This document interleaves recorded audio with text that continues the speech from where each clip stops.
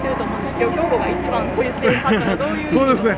あのあのぎっしりなんですよね。こういつもあの訴えるんですけどその前だけじゃなくてあのそこのあの先ですよね。それささらにその先まで人が集まると相当これまで、えー、なかったようなそういった光景やな。光景だと思います。あの3議席で13人が立候補してるんですけど、兵庫県というのは全国でもどういう位置づけですか？これも重点区です。重点ええ、ぜひ取りたいと、まあ、比例代表での躍進とね、小村淳さん、あの狙っていきます。で、まだ2週間あるんで、これだけ手応え、広がりありますから、ぜひね、えー逆転勝利、勝ち取りたいと思ってます。最初に言ってたあの会見三兄弟で実行維新というか。そうそうそう、自公自民公明維新ですね、の会見、軍拡三兄弟。に負けられない。まあ、兵庫も3議席もそうです、そうです。独占させるわけにいかないと。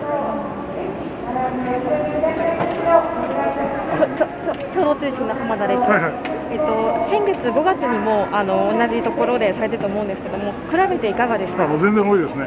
あ、増えまあのよく覚えてますけど、5月の時はやっぱりあのその先のところまでこんなに人いなかったです。なんですけども、まあ重点区ということで、えっとまた神戸来られたりとか。いやちょっとねあの今のところまだね保管回んなきゃならないんでなかなか難しいかなと思ってるんですが、あのただ党としてはあの幹部はいろいろと入ります。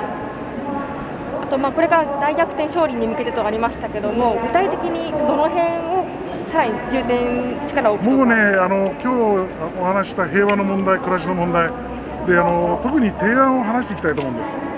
であの平和の問題では東アジアの東アジアの問題それから核兵器の問題これ提案ですよね。はい。それから優しく強い経済、5つの提案、やっぱりあのどういう解決をおすべきなのかという解決方法が見えないとね、やっぱりあの有権者の皆さんもあの一歩はあの投票所に足を運ぼうとなりませんから、あのこういう解決を一緒にやろうというところをずっと話していきたいと思っています。